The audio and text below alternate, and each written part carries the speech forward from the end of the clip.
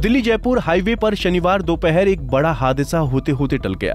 करीब 30 फीट ऊँचे ओवरब्रिज की रेलिंग को तोड़ते हुए ट्रोला नीचे सर्विस लेन पर आकर गिर गया।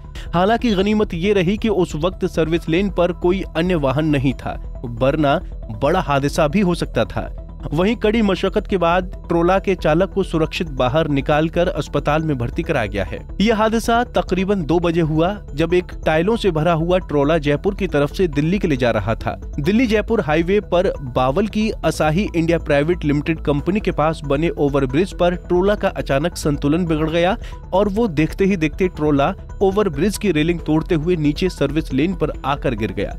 करीब 30 फीट की ऊंचाई से ट्रोला गिरने के कारण जोरदार धमाका हुआ। धमाके की आवाज़ सुनकर आसपास के लोगों की साँसें फूल गईं। लोगों की भीड़ मौके पर पहुँची तो ट्रोला पलटा हुआ था और चारों तरफ़ धूल का गुब्बार था। शुरुआत में किसी के दबने की भी आशंका थी, लेकिन जैसे ही ट्रोला को क्रेन से हटाया गया तो पता चला कि ट्रोला का चालक ही उसके अंदर फंसा हुआ है।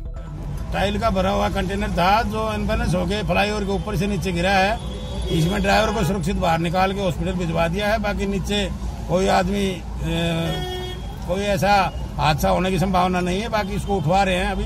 गाड़ी नंबर कहाँ की थी? गाड़ी आरजे नंबर है जी। कहाँ से कहाँ जा रही थी?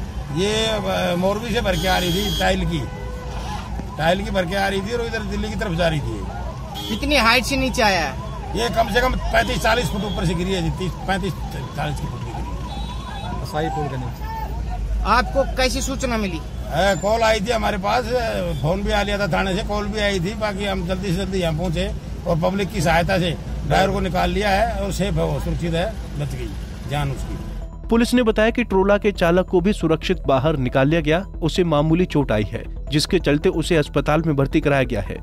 बता दें कि हादसे के कारण हाईवे की सर्विस रोड कुछ वक्त के लिए ब्लॉक हो गई। वहीं सूचना के बाद हाईवे पेट्रोलिंग पुलिस के अलावा कसोला थाना पुलिस भी मौके पर पहुँची। क्रेन की मदद से ट्रोला को साइड में किया गया, जिससे सर्विस रोड पर ट्रैफ़िक फिर से सुचारू हो पाया। पुलिस हादसे की जाँच कर रही है। हादसे की असली वजह ट्रोला चालक के बयान दर्ज होने के बाद पता चलेगी। रेवाड़ी से महेंद्र, पंजाब केसरी टीवी।